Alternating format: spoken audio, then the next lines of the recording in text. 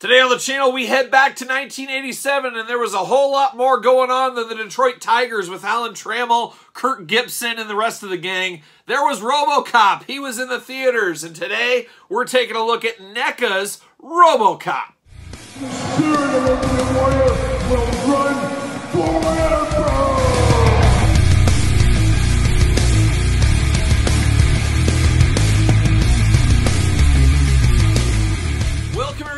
Kyle here, and welcome back to the channel for another NECA unboxing and review. And today we've got something special. We got some 80s goodness in RoboCop. But remember, for all your NECA needs and a whole lot more to be hitting up Entertainment Earth, use the link in the description below or discount code Kyle to save yourself 10% on all in-stock merchandise. Got to get a deal all day long.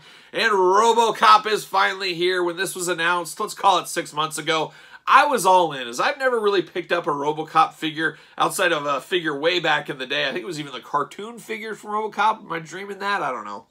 But RoboCop, a sorely missed spot in my collection. I'm not going to say I'm the greatest RoboCop fan in the world, but I will bring it back to when I was eight years old, probably seeing RoboCop on TV for the first time, maybe nine years old, I'm not sure. Uh, but boy, it changed my life. Oh, it changed my life forever. I always wanted to be a cybernetic cop, and that was really a role model I could look up to. But uh, maybe not, but I remember it being so violent and so awesome. Of course, you're a little kid in the 80s. You love the Arnolds. You love the Sylvester Stallones of the world. You love movies like RoboCop. And RoboCop 1 holds up to this day. RoboCop 2 and beyond got a little too kid-friendly, I think. But as a little kid, RoboCop 1 was a game changer, an absolute awesome movie. Absolutely love it to this day. Uh, so very happy to get a RoboCop here, but there was more reasons than uh, just liking RoboCop that I needed this one. I was also a wrestling fan. Yeah, who knew?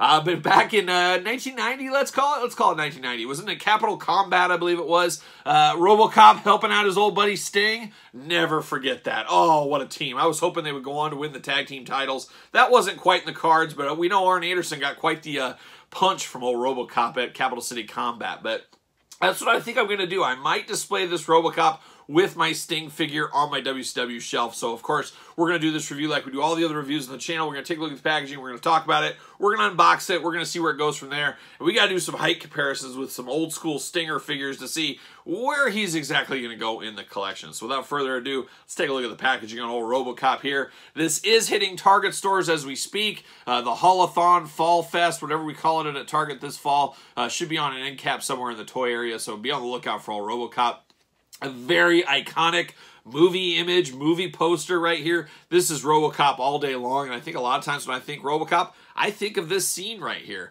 Uh, very, very cool RoboCop font as well. What's it say there? Part man, part machine, all cop, all day long. Ultimate RoboCop. Detroit Police. Love it. Just absolutely love it. You know, Robocop, he had a tough go. He had a tough go, a real tough go. He got blown to bits, and they brought him back together as part robot. Of course, he's fighting with himself and his memories and stuff. And uh, craziness happens along the way in the movie if you've never seen it. But man, absolutely cool. Robocop on the side. And then you get the unmasked edition on this side, so that is kind of cool. No way I'm using that head, though. That head's never going to see the light of day outside of this review. Uh, and on the back, RoboCop. There it is. I don't know if it says too much here. Part man, part machine, all cop. The future of law enforcement features spring-loaded holster. Well, that's good for me.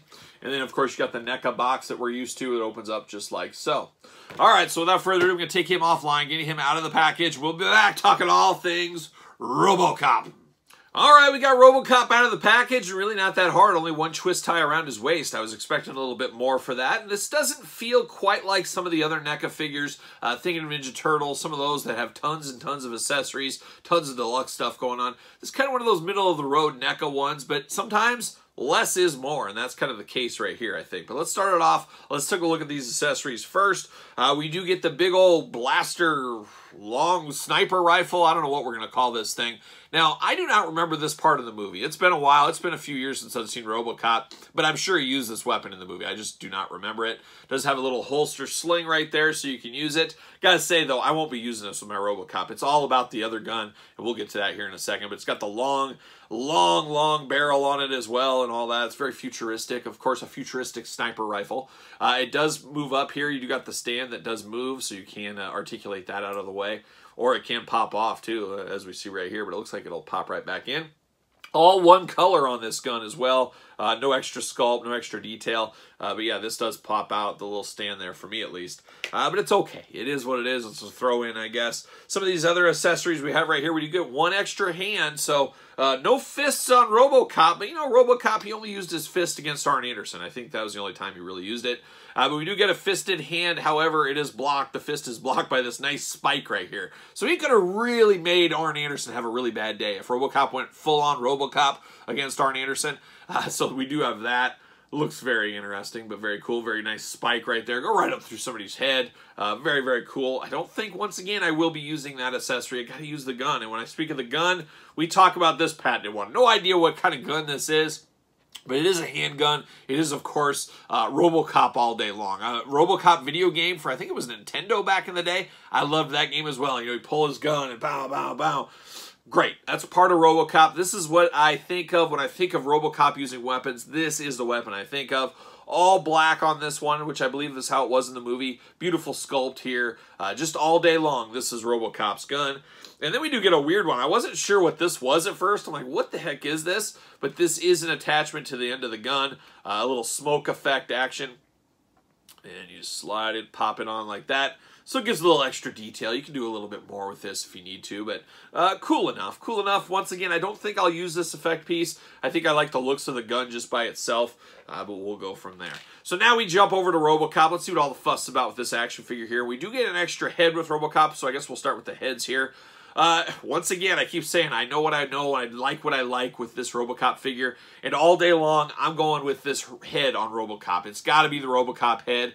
I guess it's cool. We get the Murphy head. I guess we'll call it the Murphy head. Uh, we get that. It's awesome. It's cool, but everything, if you're displaying this, you're using this RoboCop head. Unless you're a massive, massive RoboCop fan, like that's your collection, I don't see you using this head. Uh, maybe you buy two RoboCops and you use this. That's a possibility. Uh, but this one isn't very good. Well, I w- I shouldn't say it's not very good. It's just not as good as this one. This is what you want all day long. This is the money. But it's got his kind of cybernetic head, his face going uh, very, very plain Jane. Was it Pete, Paul Weller? Peter Weller. Peter Weller? I believe that's who played Robocop. Uh, he's got kind of a pouty lips going on. His eyes are a little close together. Does got a little damage here and there on his head. Uh, but I guess it's a cool enough throw in. Uh, but for me, once again, I'm just using this head. So now we get down to old Robocop here. Uh, old Robocop, uh, serving Detroit City, as we know.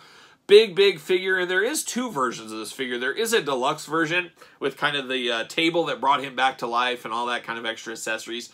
I figured I didn't need that. I, I like Robocop, but it's just not a collection I'm going down of every Robocop figure. I just needed one. This is the one I need. I think the majority of the people, they're in kind of the same boat. They're just going to get this version of RoboCop.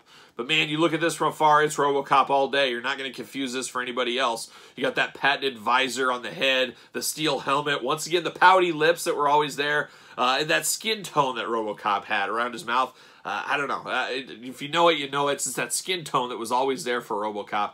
Uh, and it does look good with the black around it as well. All day long, somebody hands you this head. Yeah, that's RoboCop. We all know that. Of course, you get down to kind of the bluish, steelish color throughout the suit, the Robocop suit in the legs, the arms across with the black accents throughout. Looking really good. I mean, once again, it looks like Robocop all day long. Now, of course, articulation-wise, head removable, head side to side, back and forth, up and down. Pretty good movements for RoboCop. Now, we got to remember, this is RoboCop, not Spider-Man. So I, by looking at this, you can tell there's not super articulation with this one, and that makes sense to me. Uh, you do get the arms all the way around. You do get a little side to side, but it is limited by the big shoulders here. That makes sense. And then you do get single jointed elbows. Uh, not a ton of movement there. Once again, this is a robot, a human robot, but a robot nonetheless. Hands, uh, your hands are not movable. They are side to side at the uh, forearm, so that's a little different. Usually we're used to the twist at the hands, hands removability. No, it is on the forearm here. And then the hand just pops off very easily. So you can have really battle damaged robot if you want to miss in a hand. Oh boy, that's not going to fit in there. I'm going to have to heaten that up. There's no way. Holy cow. So this hand is supposed to go in there, the spiked hand. Uh, it just looks way too big, at least off the bat. Oh my gosh, yeah, that's not going to happen. That is not going on without some heat. Your mileage may vary. You know how that goes with some of these NECA things. Uh, but I'm going to have to heat this up for sure if I ever want to put this on his hand. Uh, so that's, eh, it is what it is, I guess. We expect that with NECA sometimes, but really should be able to plug and play like all the other toys out there, if you ask me. Uh, got some decent, uh, I don't know if I'd even say decent, but you got a little bit of hula hoop there at the waist. You do got no waist articulation with this. You do get legs that go up, kind of splay out there, so he could do his high kicks, which Robocop never did, so you don't really need that. Uh, but very mechanical. Once again, as a robot, mechanical articulation there. Knees, oh, we got some ratchets in the knees. Decent, single jointed, not getting a ton of movement there as expected. And then you do get ankle articulation up and down. Very cool. They got the little plastic uh, pistons here, I guess, on the back of his feet. Uh, those pistons go up and down when you move the hand or move the foot. So that is something a little different there. But man, it is Robocop all day long. Uh, I guess my biggest gripe is going to be this hand. Uh, trying to move that out of the way. That's a little frustrating. That could get pretty old pretty fast. Does he hold his iconic blaster? Oh, yeah. Now it's Robocop all day long. He's got that going on. That looks so good. So good. Let's see, does he fit on a ringside collectible stand? That's always a good judge of character. Man, he fits like a glove. It's like he was made by Mattel. He's got the stand there perfectly fitting right there. Ringside collectibles, use discount code Kyle. Save yourself 10% fits beautifully on this stand, so I'm there for that all day long. But now the true test begins. Oh, Robocop, your biggest test yet. Stands perfectly without a stand, by the way, as well. But now we got to see right here we got to see what's going on. The old Stinger, let's grab him out here, and I'm getting two versions of Sting. I did grab the Jakks Legends of the Ring Edition Sting. I just figured, uh, Robocop, we know these NECAs, usually they scale a little bit tall, but actually this Robocop feels a little bit smaller than your average NECA figure. And what is that? I don't know. It just feels a little smaller in hand. So this Legends of the Ring Sting, too big. It's too big. And I thought for sure this would be the one that would probably work best with him. But I'm happy to report it looks like Mattel is going to be the one that scales perfectly with this Robocop. That should make a lot of people happy because we got different Stings over the years from Mattel. Now, if we go back to Capital Combat, wasn't Sting wearing like pink pants or something and a tank top or no shirt or something? So there's not really a Sting that matches up 100%, but you do need blonde hair Sting, you do, do need surfer Sting, and I think you're near enough to be dangerous, uh, really, at the end of the day. And that's what I'm going to go with. And I think this orange one kind of feels that era the best to me. So I think I'm going to display these two guys together. They're ready to take on the Horsemen. They're ready for uh, all the shenanigans the Horsemen bring. Uh, but very cool. This scales perfectly. I believe Robocop is just a hair taller than Sting. Either way, it is very close. It does look very good. So this is how it's going to be on my shelf. Not sure about you guys out there in old YouTube land. You getting a Robocop just for your Robocop adventures? Or are you getting a Robocop like me so you can put him with Sting? Obviously, I love Robocop. Kid of the 80s. Loved me some Robocop. But I also love wrestling. So putting these two together was really cool. Looking back all these years later, if you watch Capital Combat 1990 for whatever reason, you're like, holy cow, this is brutal. But to a nine-year-old kid, all day long. All day long, we're eating that stuff up with a fork and a spoon. You guys know how we do. Uh, but looking good. Sting, Robocop, this works for me. Is it the best NECA figure of all time? Uh, it's debatable. Uh, it does have a few issues here, but I think for what it needs to do and at the price point it is, this is an easy pickup. I think this is one you should really grab out there. But you guys tell me in the YouTube comments, what are your thoughts on RoboCop? What are your thoughts on Capital Combat 1990? Let me know in the comments down below. Of course, don't forget to like this video. You made it this far. Subscribe to the channel. Turn on the old notification bell. As you guys know, we got videos every single day and then some. Uh, so you don't want to miss that. Hit the notification bell. And then don't forget about checking out the Patreon channel. Patreon where you get videos like this much earlier than traditional YouTube. Bonus content, exclusive content, monthly giveaways. Best of all, you support the channel, of course. And don't forget to follow me on social media, SirPaul64 on Twitter, Instagram, the underscore Kyle underscore Peterson, and ProWrestlingTees.com. Search Kyle Peterson. So for RoboCop and Sting, I'm Kyle. See you guys all real soon.